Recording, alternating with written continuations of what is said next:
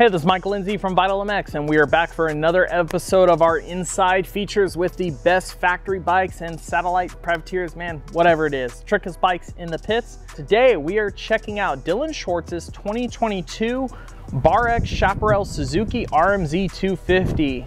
The BarX team has acted as Suzuki's amateur support program for quite a few years now, making a bit more of a push over the last year, year and a half or so into the pro ranks. And this year they are taking on everything. They're doing West and East Coast, outdoors, whole nine yards with a four-man team. Dilan Schwartz was definitely the highlight for them last year in outdoors, managing to put this bike up inside the top five at many, many nationals and really showing that yes, the Suzuki still can go fast and yes, it can make some power with the right people behind it. The team itself is based right next door to Twisted Development, so Jamie Ellis and the crew there has been working with them for many years now to try to get the best out of this machine. Jamie had a really good package for them going the last few years, and the team also had the opportunity to buy some leftover components and engine from the JGR team when they closed up shop. They received a few engines that they purchased from them and went to work trying to figure out what was the best that those guys knew, what the best that Jamie knew, threw it all together and came up with a spec and really just stretched and got everything out of the Suzuki possible. And impressively, they have taken this bike farther than really anybody thought it could go at this point. With this, nothing on this engine is really left untouched, whether it's the transmission, the crank, the rod, the piston, the cylinder head, all the valve train, etc. Yes, of course, the head is ported Again, taking the best of what they knew when they got the JGR motor apart and figured out what head spec was best. The piston is designed to Jamie Ellis's spec by JE Pistons, and we believe it's highly likely that the rod is probably a Wiseco Racer Elite, as Wiseco and JE are owned by the same company, race-winning brands. It is very probable that this bike probably has a long rod kit in it currently. No, that does not mean it is a stroker. The piston still travels the same exact length or distance as stock. It just means that the rod itself is longer, meaning that the pin inside the crank has been repositioned slightly or that the piston pin has been moved up into the piston farther, giving them a little bit longer rod, which changes the dwell time at top dead center. All this can overall increase power, but it can also change the engine characteristic a little bit.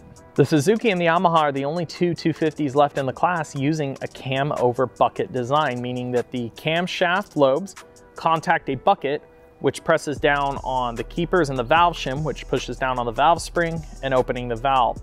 Uh, a lot of people have figured by now that all the OEMs would change over um, to a finger follower design like we see in the KTM, the Honda, and the Kawi, etc. But like I said before, as Star and even BarX has proven, you can still make a lot, a lot of power out of just a standard cam over bucket design. The bike is dual fuel injected stock, albeit we wouldn't be surprised if Jamie has tweaked on this a little bit. We've heard that he likes to modify the standard throttle bodies, tapering them, changing the overall size when needed for certain applications. And we also wouldn't be surprised if the team has played with different injectors for different spray patterns and such to really get the best out of this machine. The exhaust system is supplied by FMF and they use a Vortex ECU to build out all the custom mapping to operate this engine.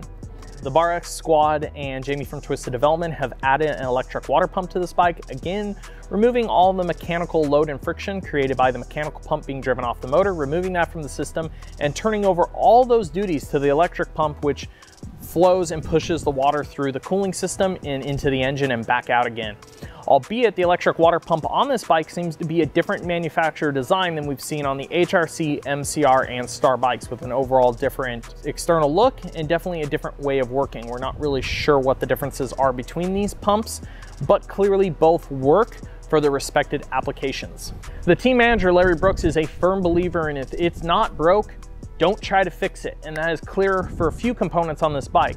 The Suzuki already, of course, handles really well, so standard swing arm, uh, mainframe, no real modifications there, added gusseting or anything of that nature. It does use stock triple clamps, no different offset, no different material. It is the stock cast clamps, which from what we've seen back when RCH was working with Ken Roczen was a popular choice for this machine. One of the only items we really noticed from the chassis department that was different was the linkage itself, which have likely been supplied by Rob from RG3, Uh, Rob was long known for working with the factory Suzuki effort on their suspension and is doing the fork and shock duties on this motorcycle. The suspension is Showa kit suspension. Once again, the majority of it was purchased as leftovers from the JGR team. Um, so it's basically the same spec of components that they had used in the past. 49 millimeter front fork and Showa, a little bit different than the stock 48 millimeter KYBs that come on the bike. And then instead of using the stock KYB shock, again, they use a Showa kit shock on this motorcycle, a little bit larger compression adjuster, 18 millimeter shaft, and all the upgrade components to handle the duties that are needed for Supercross. We also noticed the bike seems to be equipped with stock engine hangers, uh, all stock hardware. There's no titanium that we noticed throughout this bike, whether it's axles, um, all the bolts on the engine, all the case bolts, the engine hangers, the plastic. Heck, the bike even has stock hubs. So a lot of these items they've just left alone. They haven't worried too much about weight.